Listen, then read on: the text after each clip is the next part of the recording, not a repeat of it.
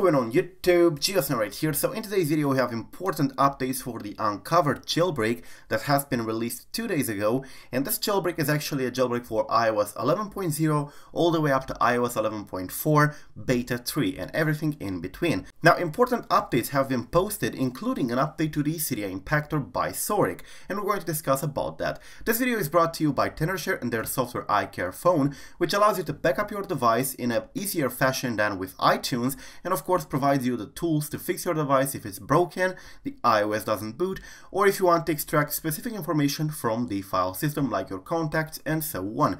Check the program out in the link below. So a day ago I made this video in here which is pretty much the release video for the uncovered jailbreak which is meant to replace the Electra jailbreak. You probably know that the Electra jailbreak was buggy, it was very poorly implemented with code that is actually barely even working.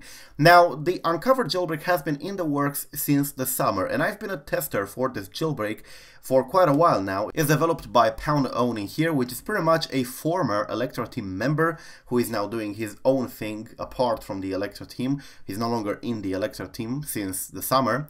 And he pushed a few updates to the uh, uncovered jailbreak. Of course, since this video here talks about the very first version, which is the RC1 or release candidate 1, it was bound to have some bugs here and there on some devices, even though we, the testers, did not catch up on some of them.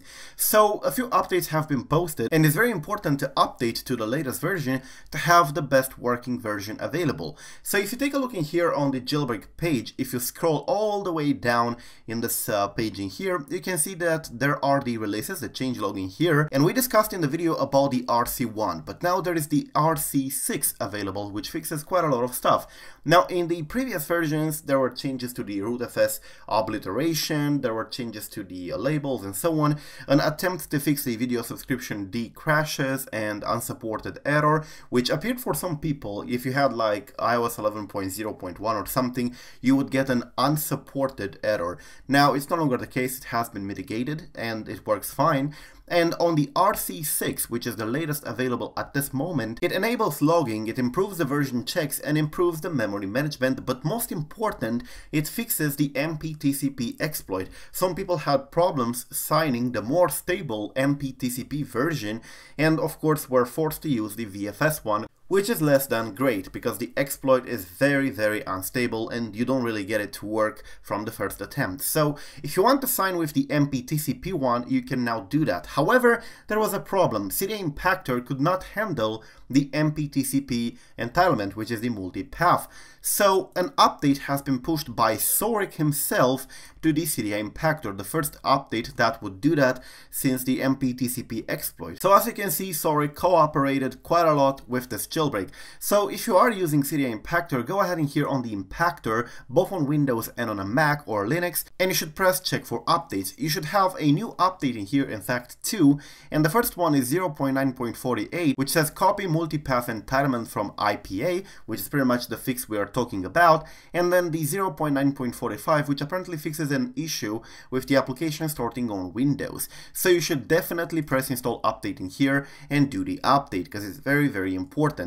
Now, if you want to get the latest available Cydia Impactor, you can do that by going in here and cydiaimpactor.com. It's available for both Windows and Mac OS, and even Linux if that's your thing. But anyways, you can get the latest version in here. This is the official website for the Cydia Impactor. So now you can sign it with the MPTCP one, and if you do have a developer account, it's definitely a better choice. So if you have problems like your jailbreak is stuck on the first out of 40 something and it keeps on rebooting, it's not a problem with the jailbreak itself or with the way it has been coded, it's a problem with the exploit you're using, which is pretty much the less fortunate EL1 or empty list, also called VFS exploit.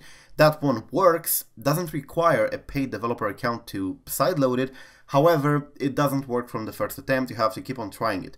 So if your jailbreak, if your uncovered jailbreak gets stuck at 1 out of 40 something and it keeps on rebooting, then the problem is the exploit and all you have to do is to leave your device for 2 or 3 minutes and try again until you get it working. However, with the MPTCP one, if you have a developer account, that shouldn't be the case. You will be able to tell which version you use by going ahead in here on the settings. As you can see here, there is a button, the jailbreak and the settings, and in the settings there is the kernel exploit. We talked about it in the video in here and this one in here shows you which exploit you are using. If you have iOS 11.0 all the way up to iOS 11.1.2, you will be using the AW in here, no doubt. But if you're running on something newer than iOS 11.1.2, you will be using either the EL or the MP. The MP stands for the MPTCP exploit and is the one that I recommend because this exploit in here actually works mostly from the first attempt. Anyways, these changes are very very important. There were some problems reported by the community and by people who tested the initial versions of the jailbreak and they were all reported to the pwn20wnd account here,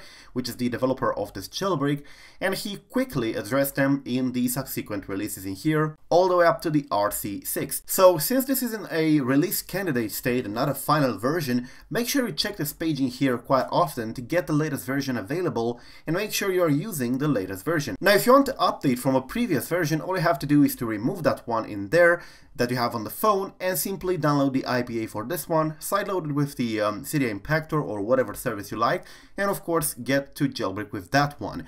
Now, the RC6 has also been updated into the ignition.fun, so that's also a thing if you want to use a no computer version, and that should be the latest version available as well. So yeah, that's pretty much it guys, thank you for watching. I'm really happy to see that saurik cooperated for this jailbreak and updated Cydia Impactor properly to handle the MPTCP one, and of course he cooperated during the development and so on. The jailbreak is approved by him. The Cydia version that is being used in this jailbreak in the Unc0ver is approved by him, unlike the Electra one, which is pretty much glued together with Speed and Hope and whatever. So definitely switch to the Unc0ver if you have the chance. It's definitely a better jailbreak, but I talked about the benefits in this video in here, so if you missed it, check it out in the description down below or in the cards up here. Thank you for watching guys, I'm GeoSn0w, until the next time subscribe to stay updated. Peace out.